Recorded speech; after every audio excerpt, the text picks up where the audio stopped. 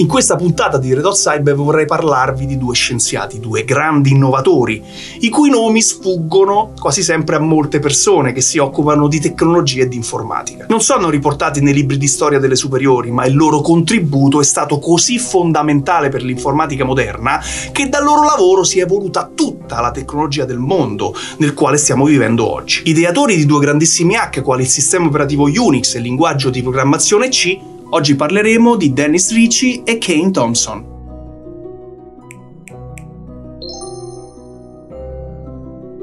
Dennis Rich e Ken Thompson sono entrambi scienziati ed informatici americani, pionieri dell'informatica affascinati dalla logica e dalla programmazione, che li portarono dopo il conseguimento delle loro lauree, rispettivamente alla Harvard University e a Berkeley, presso i laboratori Bells. Rich, a causa di un fallimento di un progetto, iniziò a lavorare a stretto contatto con Ken Thompson e quindi allo sviluppo di un sistema operativo più flessibile per minicomputer, per il PDP-7 della Digital Equipment Corporation, la famosa DEC. Rich disse iniziai a lavorare nel 1969 con Ken Thompson, quando scoprì un computer PDP-7 poco utilizzato e decise di creare un ambiente informatico che gli facesse davvero. Thompson scrisse la prima versione del sistema operativo Unix per un PDP-7 in appena un mese. Il suo lavoro mi attrasse così tanto, quindi da subito, che mi sono unito all'impresa, anche se la maggior parte delle idee, la maggior parte del lavoro per questa materia era totalmente il suo. Ma in pochi mesi i due avevano creato assieme un sistema operativo funzionante, il sistema operativo Unix,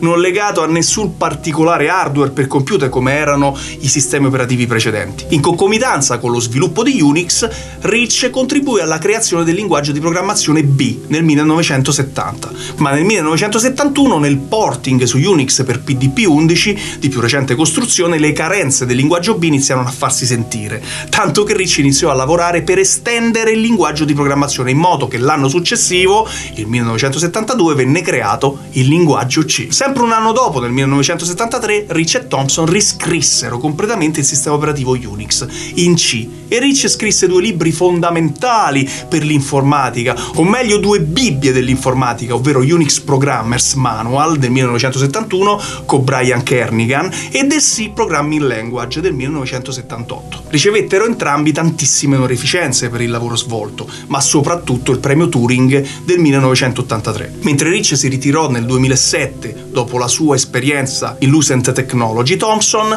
una volta in pensione, iniziò nel 2006 un percorso con Google, dove ha coinventato il linguaggio di programmazione Go. Concludendo, Rich e Thompson hanno creato il DNA sul quale si basa tutta la tecnologia che utilizziamo. Il kernel Linux è scritto in C, i videogiochi sono scritti in C++, i browser sono scritti in C, le infrastrutture su cui gira tutta quanta internet sono scritte in C. Ma aggiungo ancora, i server web sono scritti in C e se non lo sono sono scritti in Java o in C++ che sono derivati comunque dal C o Python e Ruby che sono a loro volta sviluppati in C. Quando Rich morì il 12 ottobre del 2011 non ne parlò nessun telegiornale perché il mondo era travolto dal dolore dalla morte di Steve Jobs avvenuta sette giorni prima. I tributi per Dennis Rich non corrisposero al fiume di lodi che si riversarono sul web dopo la morte di Jobs, perché l'uomo è sempre ammaliato dalla superficie, dalle cose belle, senza mai sforzarsi di guardare il fondo.